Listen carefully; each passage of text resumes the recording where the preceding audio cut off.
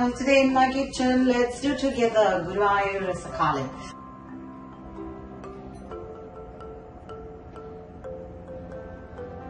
Goes without saying, any naivedyam, any prasadam that you offer with love to God and that is served to the people makes it immensely tasty. So this is one of the recipe what you must try once and enjoy this. It's a combination of two um, pumpkins, ash gourd and the normal pumpkin this is made with. So let's have a look at the ingredients. I'm sure you're going to really love this. If you're going to take to make this dish, any measurements that you need, you can do it for you. I'm taking like this a one bowl of measurement of the vegetable. I have taken nice one full cup of the ash gourd which is cut into cubes small. I have added about half teaspoon of the cumin powder and half teaspoon of turmeric powder. I'm going to add that there. Add two green chilies slit into it. Some sprigs of the curry leaves. When you take full of ashgourd, little less should be the pumpkin. That also we have added here. Then I'm going to add 3 tablespoons of the curd.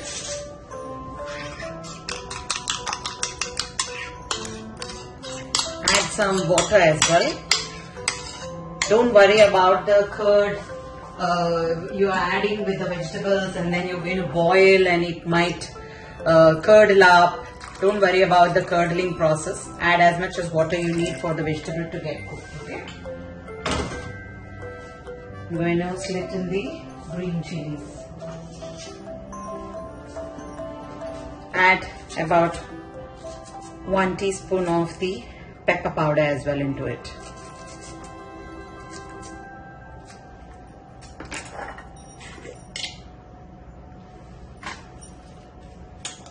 Time to add 1 teaspoon of the pepper powder. Salt to taste.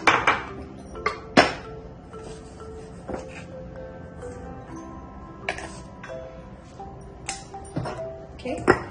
Allow it start to boil. Now we're going to grind half cup of the coconut, 2 pieces of green chili, 1 teaspoon of the cumin. Grind it fine paste and keep it aside. We will need about half teaspoon of the chili flakes. Then we will need uh, 1 teaspoon of the mustard.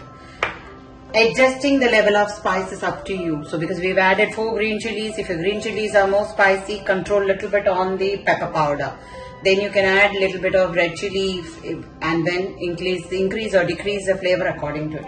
But for tadka, definitely you will need a, uh, the chili flakes to do that. So now first we will start to boil the vegetables and we'll need some curry leaves as well for tadka. I have added the coconut cumin and 1 tablespoon of curd here and I'm going to nicely grind this and take out. Fine paste. Vegetable is getting cooked very well. Till such time both the vegetables are cooked well, don't add the grounded masala to it. I'm going to add in the grounded coconut mix what we have kept. I'm going to add about half cup of curd and beat it and take it well. So I'll be sooner adding that as well. Mixing it well. Let this get cooked in this masala well. Now another half cup of curd I will beat. Okay, the coconut is got nicely mixed here. Now I'm going to add in our curd. I'm going to off the flame because it's pretty hot. Okay, and I'll uh, mix little bit of water to it. Adjust the thickness of the curry. Okay, mix it well. Now I'll put on the flame back. Okay. Don't allow this to boil. The moment it becomes little boiled on the side, like you feel the froth is coming, just off. Little bit salt.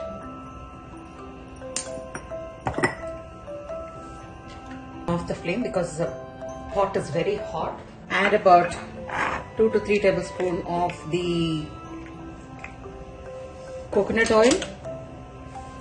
To it I've added the mustard. Then I'm going to add about half teaspoon of the chili flakes quarter teaspoon of the fenugreek powder. If you don't have fenugreek powder, you can add the granules itself directly onto this. Mustard is spluttering, so soon adding this, both the ingredients. That's chili flakes gives a good flavor to it. The entire taste of this rasakalan comes from the chili flakes.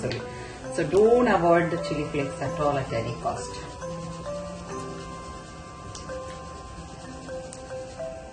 Add it on to the rasakalan. The flavor of the chili flake, then the fenugreek, curry leaves, cumin, and the salt and the sweet and the sour of the uh, pumpkin and uh, curd, everything together makes this dish oh, fantastic. Goes well with rice.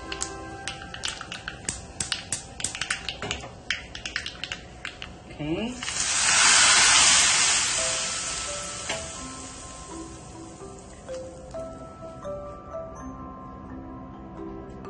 Add this as well.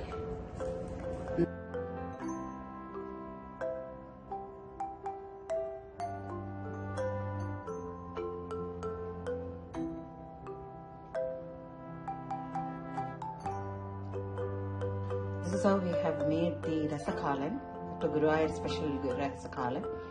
Try making this, it's excellent. You will really love this. Thank you for watching me here. Happy cooking and happy eating. Bye bye.